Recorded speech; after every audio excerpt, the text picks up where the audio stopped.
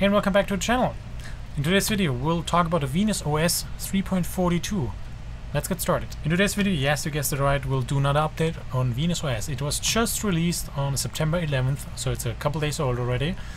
But it's also a very small update, so let's see what it actually means and what our changelog looks like. So as always, we'll go through the changelog or release notes, whatever you want to call them here, and then we'll do the update on my Raspberry Pi 4 and I'm saying it purposely first, which is the device here right in front of me, and then the second update will be on my Raspberry Pi 3. Also has a couple connections, so we'll go through all those connections because both have in the meantime different purposes and different connections to it. So let's get started with the re release log.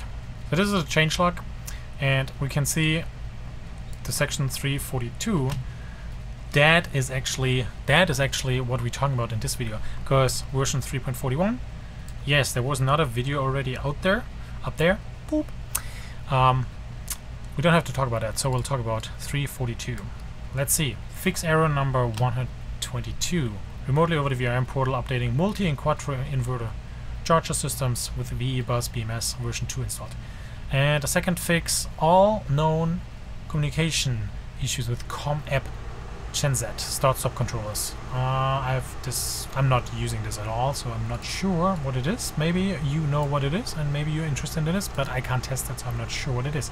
Same applies to the first one. I can't really test that, so we'll just go through, install both of my units, test some production unit, and then we'll see what it means. So Raspberry Pi 4 is uh, my test unit and Raspberry Pi. Well, actually, in the meantime, I can't say that there's a Raspberry Pi which is my test and production unit. So keep that in mind. We will just do the number 4 first because that's right in front of me. I have a display connected and the Raspberry Pi 3 is the one which is uh, not here, doesn't have a display connected, just via remote, cover both cases. Let's get started. Right now we're looking at the Raspberry Pi 4 and to show you what it actually has connected, we'll go into menu and then we can see it has a one-wire temperature sensor. And by the way, I'm using Setup Helper, so hopefully that will always work after an update and make it pretty easy to get back to where we left it. So yeah, one-wire temperature. I have a fresh water tank sensor. That is correct. I have the Multiplus, which is currently off. Correct. I have the Raspberry Pi processor temperature. That is correct. I believe um, that's installed through Setup Helper.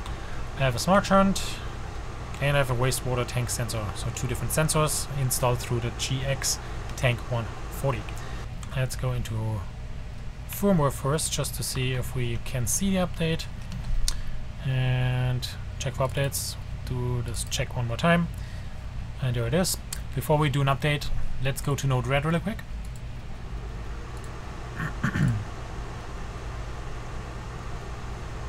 So this is my Node-RED and uh, there are videos out there. Whoop, up there is part 1.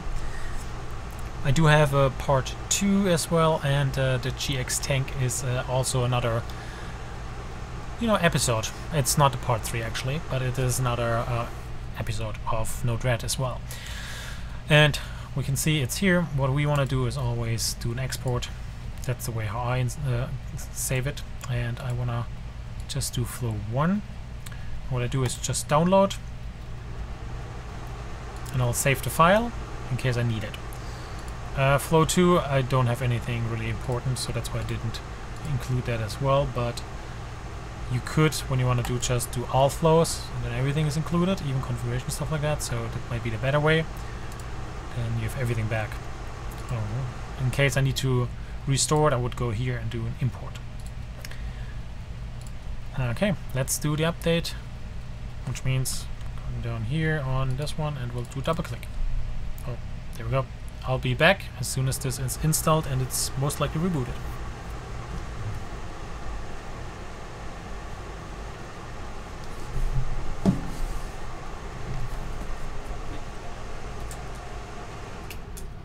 We'll go to my Raspberry Pi 3 and I'll tell you what's connected there.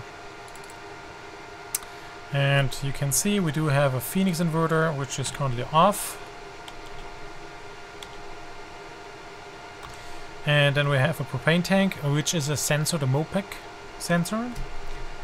Then we have the Raspberry Pi processor temperature. We have a SFK battery.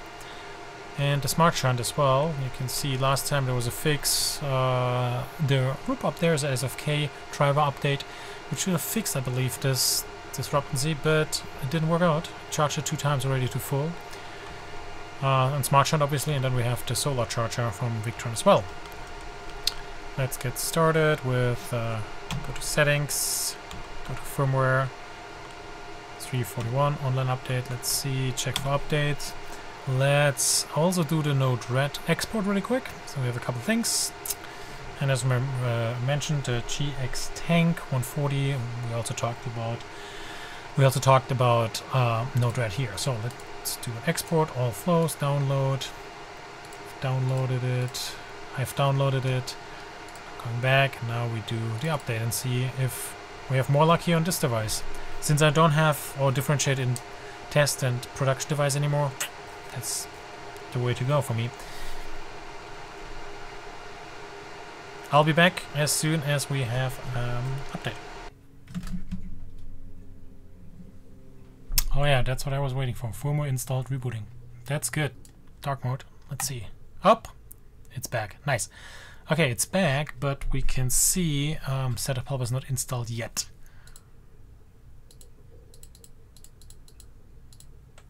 Why is that the case? No one knows. Let's see. Package manager, there it is. Check for downloads and installs. Okay, let's let's wait. It should be back.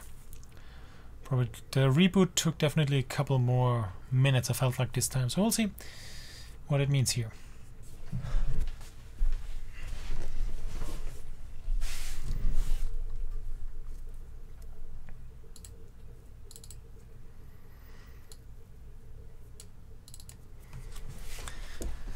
Okay, it doesn't look like it doesn't look like that it installed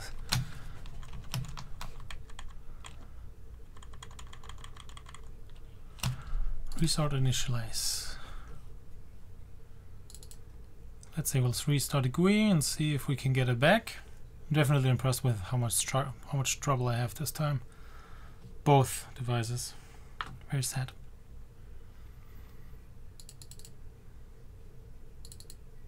Did anything actually.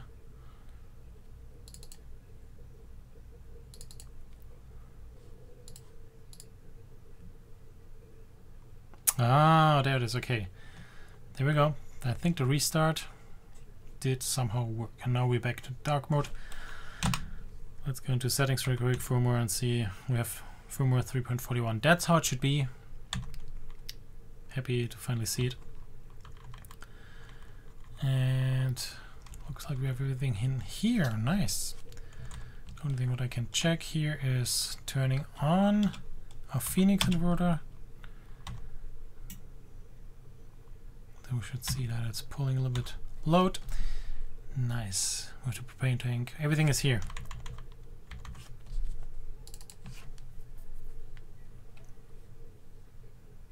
Okay. That worked even though with uh, setup helper not immediately working. So that is a bummer to see, but it is what it is. Alright, let's switch back to our Raspberry Pi 4, which just rebooted, and I guess it didn't work. Again. No, it didn't work, wow. Well, that's an interesting glitch, so it said 100%, but I don't know if it showed the banner of installing successful. We'll see when it's back up. Oh, it actually looks like it did something. Let's see. I don't want to jinx it, but let's reconnect. Settings. Firmware. And we have it finally. Oh god, you want to know the solution? Well, same like last time. I had a troubleshooting video out there whoop, for 3.41 and I thought it might be the Multi Plus.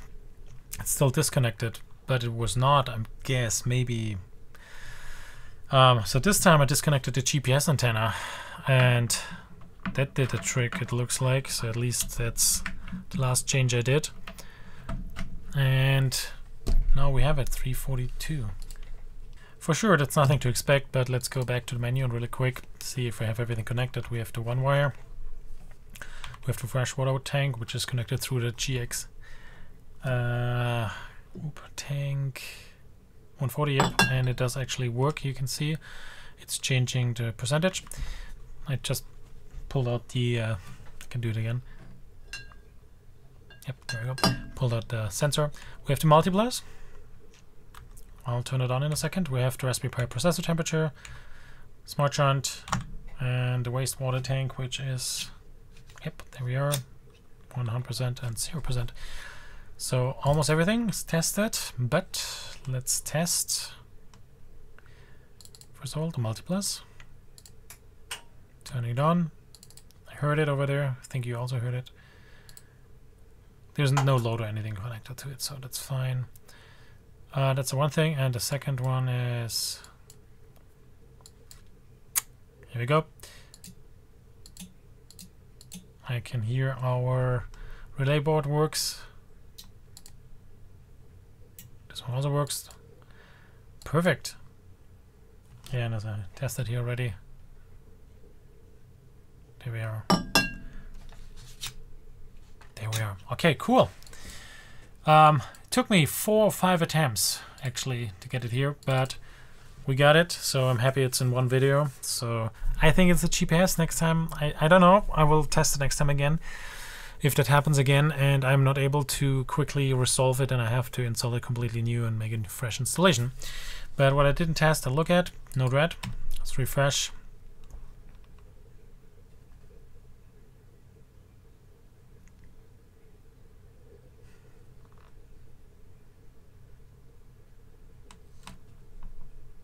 There we are, looks good.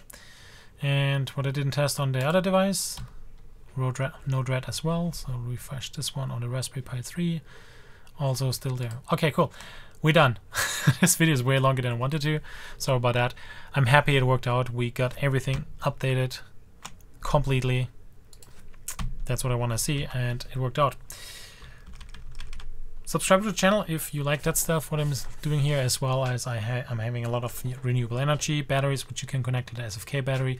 Maybe there's SOK battery coming in as well pretty soon. If that works out they're also working on a solution that looks like to integrate with uh, Victron and Venus OS that would be amazing to see that battery as well um, not only SFK uh, and then there are obviously a lot of Chinese batteries I'm testing here, all different kind of. And this setup, for example, with the multiplus, I'm having a 48 volt battery from XRH up there. It's a video. So yeah, thanks for watching and like the video, subscribe to the channel. Cheers!